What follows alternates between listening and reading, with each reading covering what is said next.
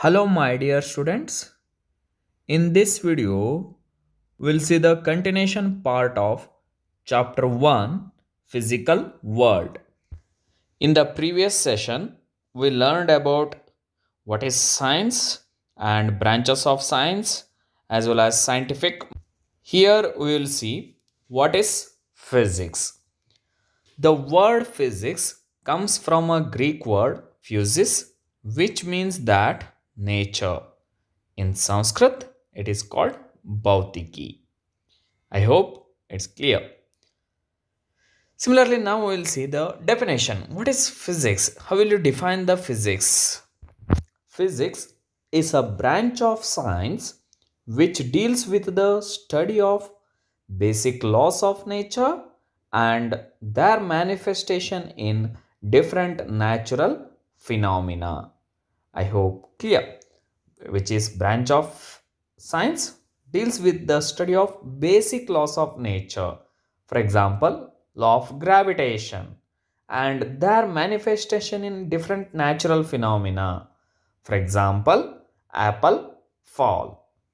Here we will see there are two principal thrusts in physics that is unification and reductionism.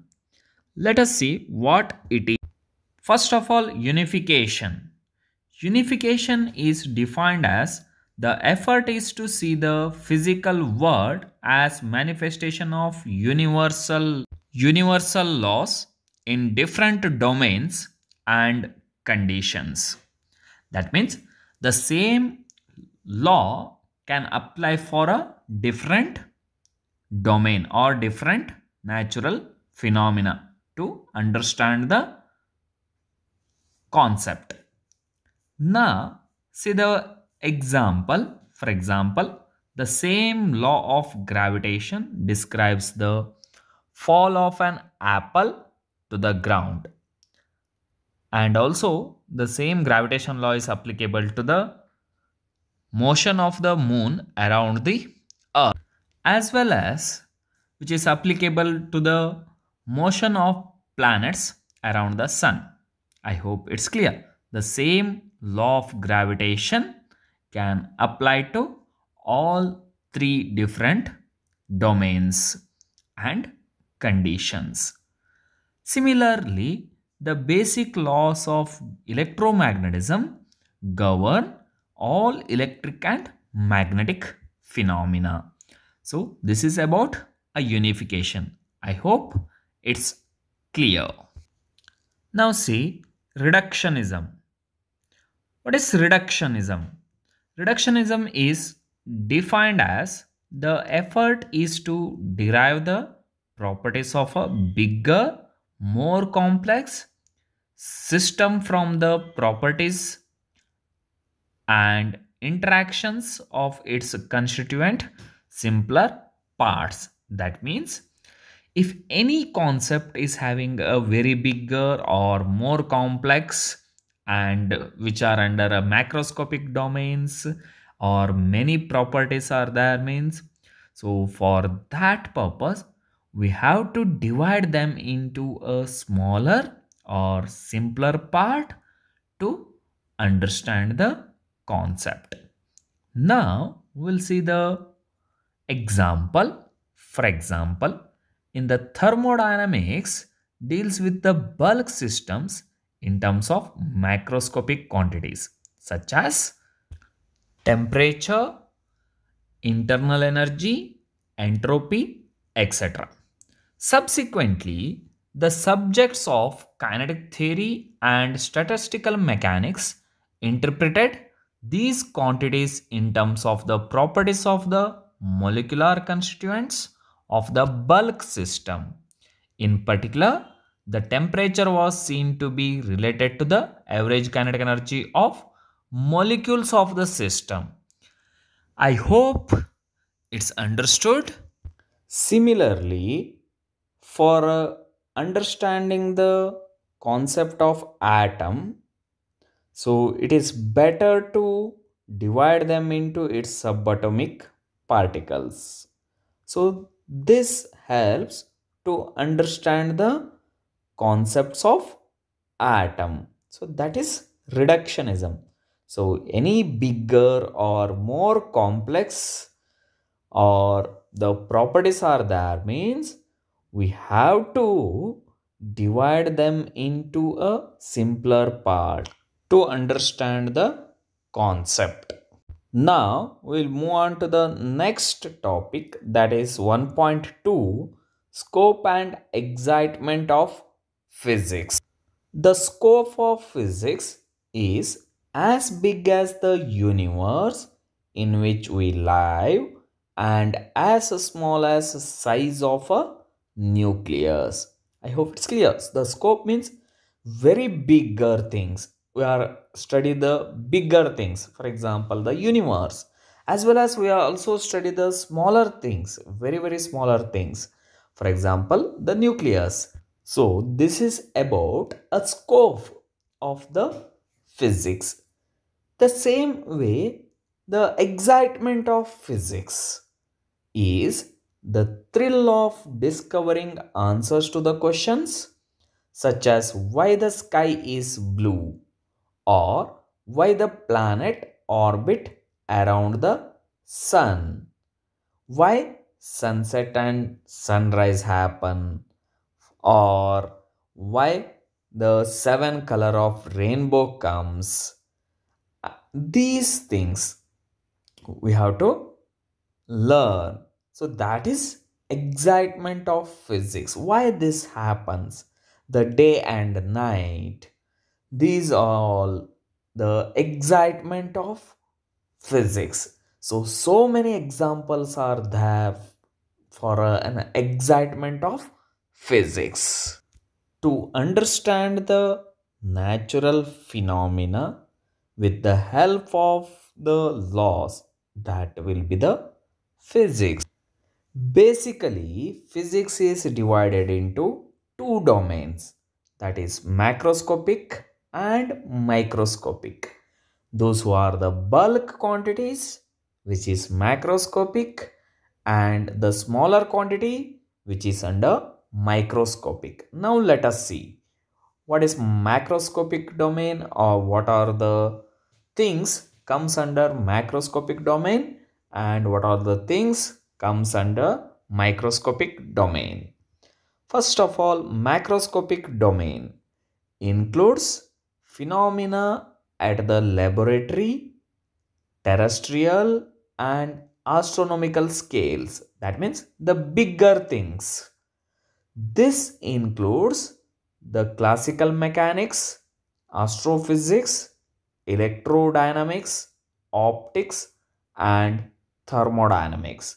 These all are the branches of physics come under the macroscopic domains as well as let us see the microscopic domain which includes the molecular atomic and a nuclear phenomena the phenomena of nuclear atomic and moleculars under microscopic domain. That means a smaller things comes under microscopic domain. Subatoms or atoms, these things. Here, which includes the quanti quantum theory, atomic physics, molecular physics and nuclear physics. These all are the branches of physics come under microscopic domain. Here one mark or two mark question will ask what all the phenomena comes under macroscopic domain and microscopic domain as well as what all the topics includes in macroscopic domain and microscopic domain. Phenomena means laboratory terrestrial astronomical. Topic means classical mechanics, astrophysics, electrodynamics, etc. Now, let us see the branches of physics. First, classical mechanics. The branch of concerned with the motion of objects moving at a speeds very small compared to the speed of light in vacuum. For example, the study about motion of the vehicles or movement of the man or movement of the planets these all are under classical mechanics. The study about these things are under the branches of physics particularly in classical mechanics. Next we'll see the astrophysics. So it is the study of terrestrial bodies. You already know. The in the night, mainly in the night, what we saw the moon or the stars, these things, while understanding the concept of the stars and galaxies and planets, these all are under astrophysics. This is another branch of physics. And next, electrodynamics. It deals with the electric and magnetic phenomena. You already know these things the movement of electric charge and magnetism. In your SSLC, you studied this. Next, optics. This also you already studied it deals with the study of light and related emissions. That means about a light, properties of lights.